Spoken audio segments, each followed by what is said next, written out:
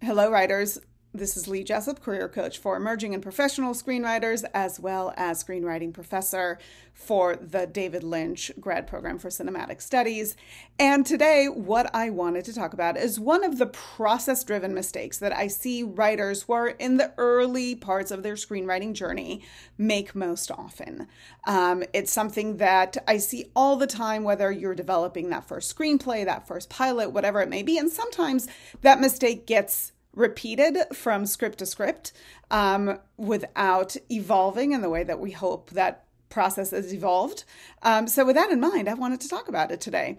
And that mistake is jumping into pages too quickly, right? You have an idea for a screenplay, an idea for a pilot, you're so jazzed and excited about it, and you just decide to jump on in forget the naysayers. Let's not talk about outlines or treatments or save the cat beats or grids or anything like that. Then let's just go on in.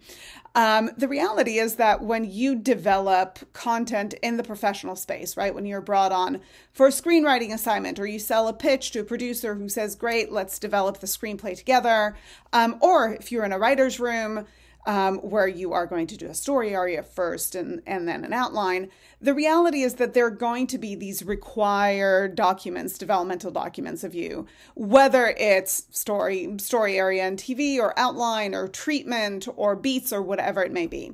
Um, and so I do love the excitement that sends the writer to the page, but I find that most often when we go to the page without doing some of these pre writing work um, that is so required, oftentimes in a feature, we usually see that the writer is going to kind of get lost somewhere in the second act, usually around page 50, 55, 60, and suddenly go, went off track, not sure what happened, not sure how to put it back together. Um, you know, when we see it with pilots, it's usually going to be really excited about the story told in the pilot, but not really understanding the show that we're setting up from there. You have to remember that when screenwriting is done well, it's going to look deceptively simple, right? It's all just clicking, it's all working, it's really exciting. Um, doesn't always work that way when you when you think about it and you really have to kind of take a step back do do some of the thinking about what it is that you're that you're writing. A lot of professional writers will talk about the architecture of story story design. A house is not built without blueprints.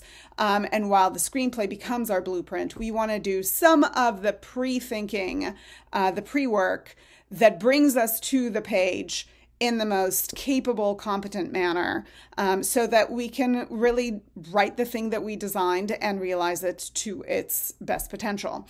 Um, when you're thinking about how to develop your pilot, how to develop your screenplay, I highly recommend two different books. One being Kam Miller's The Hero Succeeds on the TV front, the other being Michael Tabb's uh, Pre Writing Your Screenplay. I will include that um, in, in the notes for this video so you don't have to jot it down.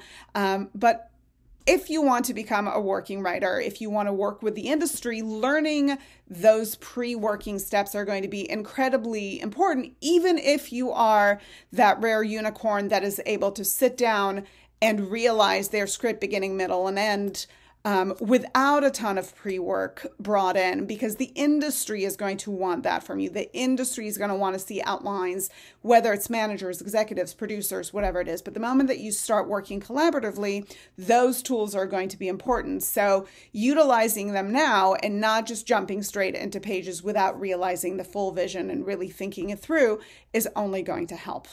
All right, you guys, speaking of help, I hope this video did that. Look out for lots more, and um, hopefully we'll connect soon. Bye.